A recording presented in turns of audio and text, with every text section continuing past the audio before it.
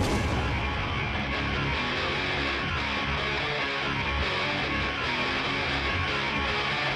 Hey guys, so glad you could join us today here on Scaly Adventures behind the scenes.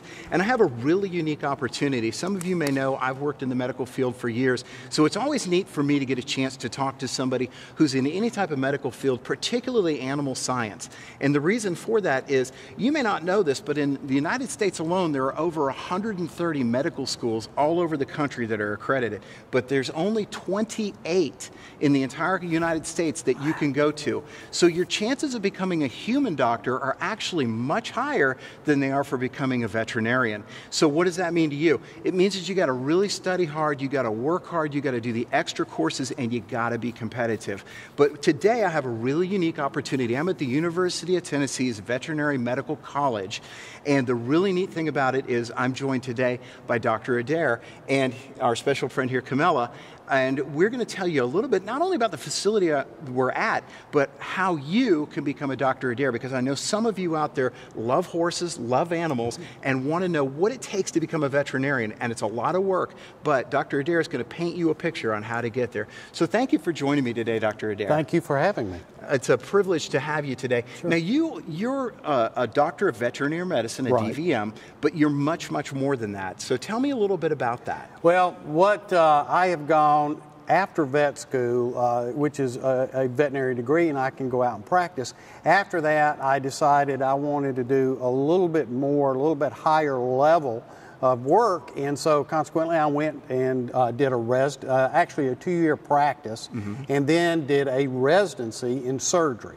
Wow. And after that, I became board certified in surgery, so uh, it, which is a, a, very specialized area of veterinary medicine. Uh, of equine surgeons out mm. there, there's only a few hundred, hundred of us worldwide. Amazing. And so it's uh, it's a fairly uh, intense field and a very specialized field uh, in that. So it's kind of like when you guys are watching, like like I was saying on our live episode footage. If anybody's ever broken their arm, they went to maybe they went to see the emergency room, but then they went and saw an orthopedist, yep. mm-hmm. and then from that, if the break was a certain type, they might have gone to a hand surgeon right. or a specific. And so that's that's kind of like what Dr. Adair is. He's a doctor within a doctor within a doctor, if you will. And so what they do is very very highly specialized. And like you were saying, when you graduate veterinary college, you're qualified. Mm-hmm once you take your, your boards to become like a general vet, right. cats, dogs. Right, you can. We teach uh, in, in vet school, you go through all species and you'll learn about all species. And once you graduate, you are actually a doctor of veterinary medicine.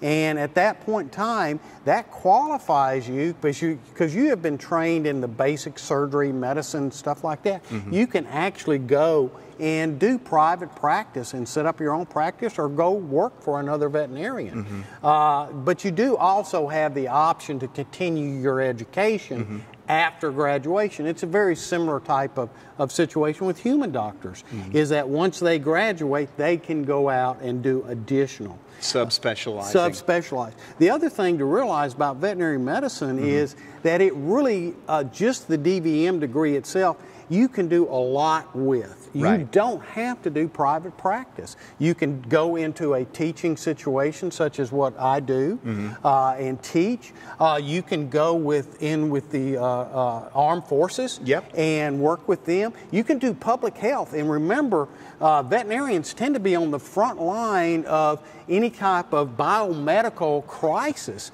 in that a lot of the diseases uh, that are out there, terrorist type of, mm-hmm. of, diseases, may show up in animals first. Like anthrax. Uh, like anthrax. Yes. Uh, there's a lot of different things that will show up in the animals first, so you can actually specialize in that public health and, and uh, the forefront on, on biological diseases. Uh, I think one of the things you brought up is when, I know when I was in the Army, we had people that were uh, veterinarians that were actually mm-hmm. assigned to my unit that they were trained in everything from meat inspection mm-hmm. all the way to, like you said, taking care of the Army's show horses that we use in funeral processions and things but of that, that nature. But even the dogs, think of the dogs the that canines. go out and the canines that sniff for bombs out in the mm-hmm. field mm-hmm. and uh, also in airports and sniffing for drugs and stuff like that. So veterinarians are very involved with those also. It's interesting when you drill down in any career field, whether it's a doctor, even a lawyer. Lawyers, some of them do family law, some of them do uh, criminal court mm-hmm. law.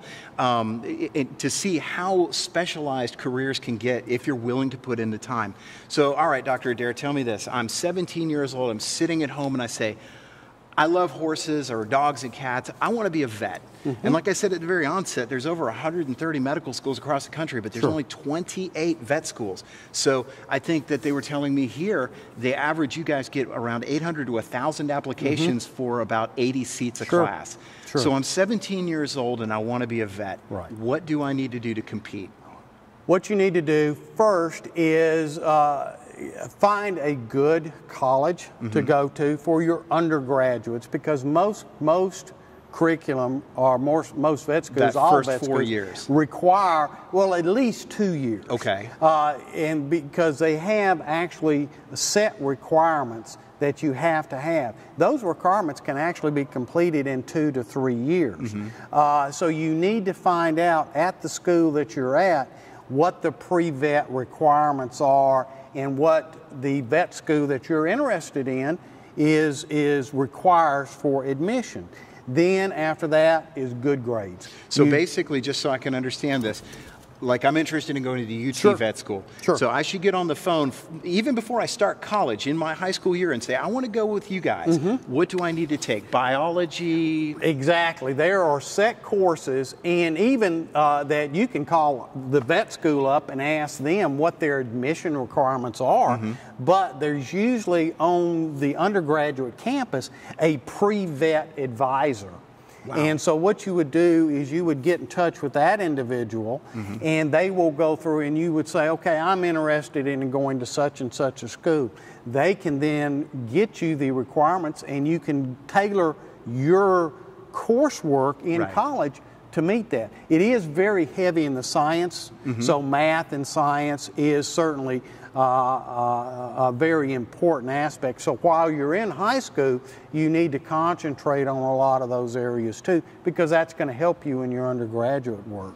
So, see, guys, it's not just loving animals, that's only the very beginning of it. It's then the commitment of actually plotting out a course of where you want to go. And, and I know from a lot of cases that kids maybe can't go to the UT for their undergrad, so right. maybe you go to a Kennesaw State University, oh, like where yeah. I went, oh, but yeah. you would still choreograph with the school. Exactly. As long as you meet the requirements uh, of the vet school that you're interested in, uh, that's all it takes. You can do that anywhere, at any college. It doesn't have to be just at the school where the vet school is. The other important aspect, which oftentimes we don't address, mm-hmm. is it is important to get experience okay. with a veterinarian.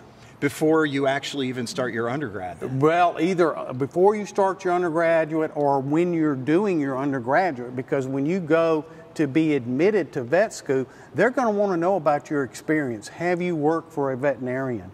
Have you have you uh, uh, uh, been with a large animal vet? Have you been with a small animal vet? What's your experience? Because it is important that you have the knowledge of what the field of veterinary medicine is about. You know, I think you make a really great point, doctor. I've met people nursing and even in doctor, um, you know, in human medicine who said, you know, if I really knew what this was, I don't know if I would have gone the direction that I did. Exactly. And you don't want to waste the space no. in a medical school on somebody who well, doesn't it, it's that. It's not us wasting a space. Yeah. I mean, you spend four years, and vet school is not cheap. Okay, so you do have to think of uh, the financial commitment that you have to make. And so, if you spend four years and you find out that veterinary medicine is actually not what you want to do, yeah. then at that point in time, you've wasted four years and a lot of money. Several hundred thousand yeah. dollar mistake. Yeah, so so you do. It, that's why we always recommend that you get experience with a veterinarian so that you know what you're getting into. Well, I think that's great advice, doctor, and I think that you could even, yeah, uh, you know, a great advice to that 17-year-old might be, hey, go to the local vet in town and volunteer. volunteer. Don't ask the man to pay you. Volunteer your time and show up with a notebook early asking questions. Exactly. Exactly. Wow. And especially if you've got your own animal, then just get with your veterinarian that takes care of your animals and just say, listen, can I come and volunteer with you on Saturday mornings? Yeah. You know, and you don't have to do it every day of the week or maybe it's after school. Maybe you want to come spend a couple hours. Yes, you're probably going to be cleaning tables and maybe cleaning out stalls or cages, yeah. but you're being exposed to what veterinary medicine is. And we all know that you got to start somewhere. You got to start at the ground and work your way That's up. That's right. Well, Dr. Adair, Camilla, we want to thank you both for your time today. You're welcome. I know that there's some viewers out there who really, I, we talk to a lot of kids who say, I want to be vet, and I know just how hard it is sure. and what the commitment it takes to do what the, you guys do. So we thank you so much for taking the time thank to you. offer the next generation a chance, and we hope to see you. you here at the UT Vet School. So keep on studying get good grades, work extra hours, and maybe you too can get a chance to work with Camilla. We'll see you at scalyadventures.com.